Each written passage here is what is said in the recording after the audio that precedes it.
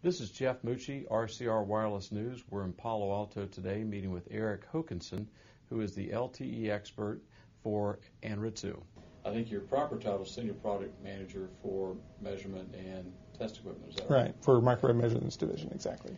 Um, you've recently launched, uh, I think you've announced you were the first one to market with a, with a turnkey LTE measurement and test device. Can you tell me a little bit more about the product and uh, what it does? Right. This this is our uh, BTS Master here, mm-hmm. uh, which is one of a line of products for um, making measurements on all kinds of uh, wireless base stations. Mm-hmm. Um, the recent announcement is specifically around LTE. Okay. Um, we've actually uh, had an LTE solution for installation and maintenance for some months now, and the latest announcement is that we've expanded that to cover all of the bandwidths available around the world. LTE is a very flexible standard uh, that can adapt to different uh, spectrum when a carrier has a wide spectrum or a narrow spectrum. Uh, and we've just upgraded the capability to uh, do all of those. Uh, our first initial announcements were focused on some of the very first operators that had one specific spectrum uh, allocation. Would you mind taking a few minutes and showing us exactly what this box does? And, and while you're going through the demonstration, help us really understand the underlying benefit to the carrier. Okay, good. So I'll, I'll just turn the instrument here for a moment just to show the, the connector panel on the top because that's a little bit difficult to see from the angle we had before.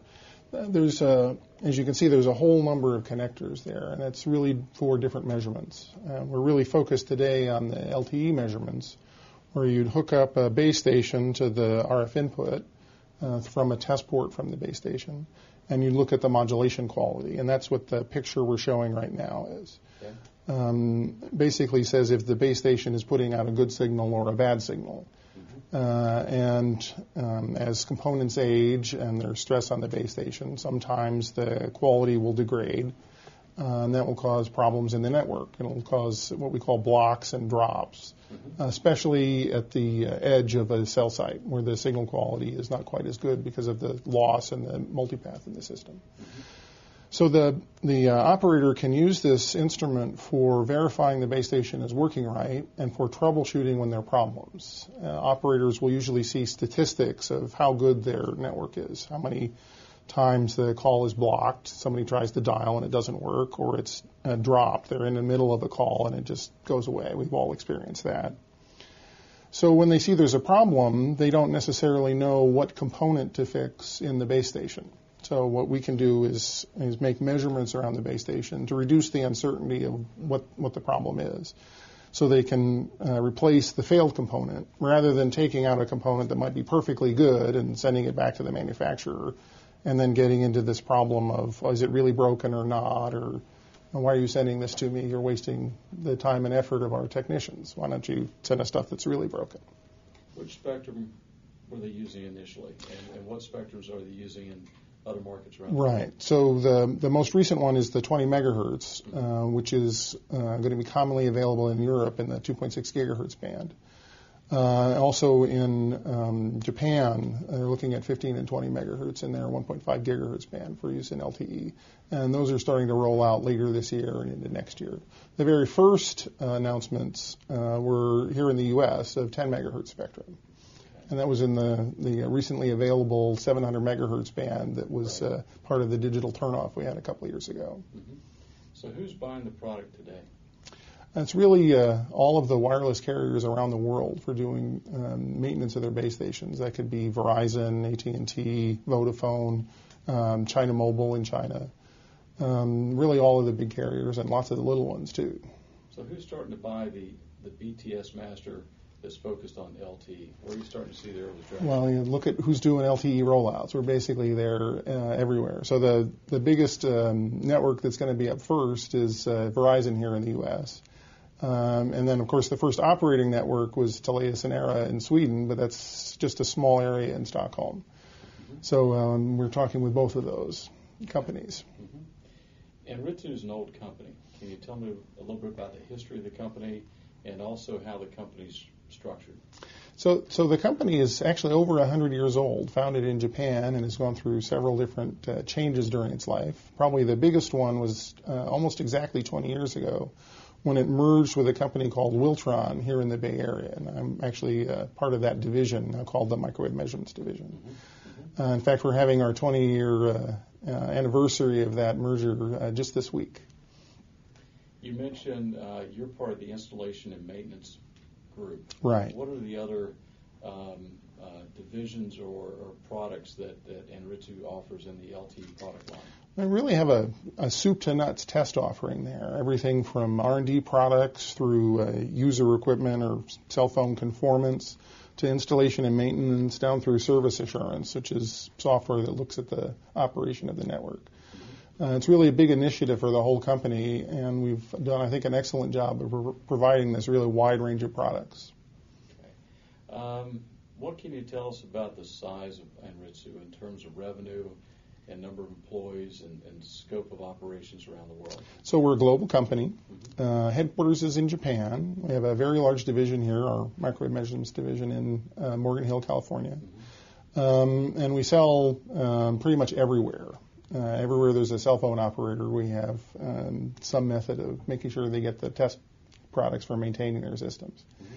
And the, um, I believe the publicly announced numbers is about $782 million in revenue. We have uh, roughly 4,000 employees spread around the world. Um, a lot of those in Japan. There's a big manufacturing division there. Um, here in Morgan Hill, we have another big manufacturing division. Uh, so they have um, R&D, uh, manufacturing, engineering, manufacturing technicians, um, and marketing engineers uh, as well as management and all of the other overhead. And then we have sales spread around through 90 countries throughout the world. Who, who buys your product? It's really, uh, well, there's two sets. The biggest one we're talking about here is the telecom operators, people actually run networks. Mm-hmm.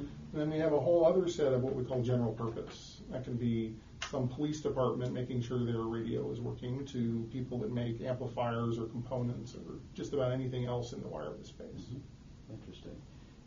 Um, I take it as a product manager, you work in different regions around the world as well. Exactly, yes. Can you compare and contrast how networks are built in the U.S. versus how networks are built and deployed in other parts of the world? That's an interesting question. And in some ways, the technologies are all similar and the forcing functions are all similar, that you have customers and you have a technology and you have a way to do that. Mm-hmm. But certain regions of the world, of course, are much more focused on cost because of the the customers they have just can't pay for more services. So you go to places like India or China, they tend to be very focused on cost, um, to the exclusion of maybe doing um, some more of the tests that might benefit them. Uh, here in the U.S., it's kind of the opposite end of the scale. We have companies that can be very focused on doing uh, proactive work on all aspects of the network and provide higher level services, um, more of the data explosion that we're seeing. Uh, which is one of the big reasons for LTE, I think, is that uh, as we're seeing people using more and more data on their cell phones, it tends to start overloading networks. Mm-hmm. I think many people have seen the problems that AT&T have had with the iPhone in certain cities. Mm-hmm. Um, and being able to have modern systems and more spectrum and test equipment for monitoring and maintenance are all things that are necessary for being able to grow with that data need. Mm-hmm. So how does Anritsu help someone like AT&T who has acute pressure on the quality of their network. Can you give me some examples of maybe not AT&T specifically, mm-hmm. but where you're you're helping uh, carriers manage their network more effectively with your product? Right. So there's two aspects to that. One is some cases you just need more capacity. So you need to put up more base stations, you need to install them and make sure they're working right. And then the other half is making sure that what you've got installed is working correctly.